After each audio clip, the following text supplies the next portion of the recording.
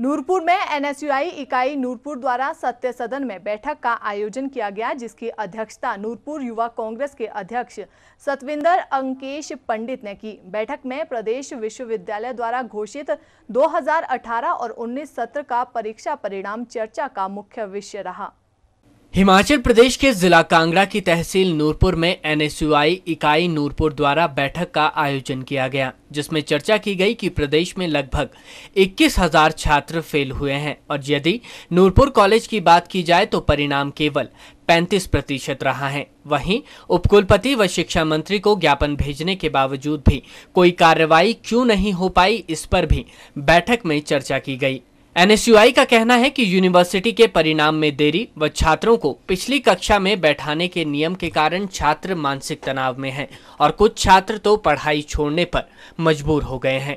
वहीं इस मौके पर बैठक में आयोजित युवा कांग्रेस नेताओं ने भी एनएसयूआई को हर संभव सहायता देने का आश्वासन दिया।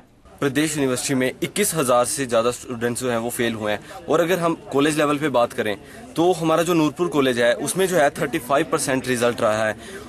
और हम लोगों ने जो है सारा पेपर वर्क करके देख लिया। मेमोरेंडम हमने, जिस दिन रिज़ल्ट आया था, उससे नेक्स्ट डे हमने थ्रू प्रिंसिपल वाइस चांसलर को लेटर सेंड किया था।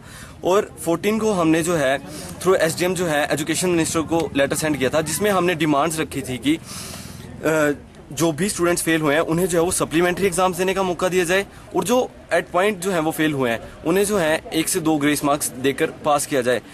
हमारी एक मांग मानी गई ग्रेस मार्क्स वाली। बट वो भी कैसे मानी गई? ग्रेस मार्क्स उन बच्चों को मिल रहे हैं जो कि ऑलरेडी पास हैं या एक दो सब्जेक्ट में फेल हैं। वो भी उन्हें तब मिल रहे हैं अगर वो आ, उन्हें जो है वो पाँच नंबर चाहिए।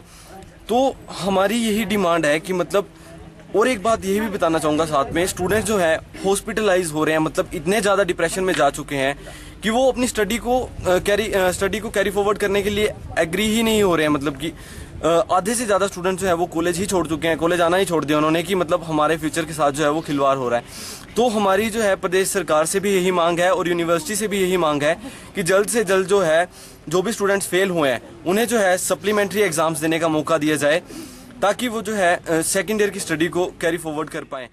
इस बैठक में एनएसयूआई के वरिष्ठ नेता मनीष घई, दीपक और विशाल मुख्य रूप से उपस्थित रहे। सिटी चैनल के लिए नूरपुर से संजीव महाजन की रिपोर्ट।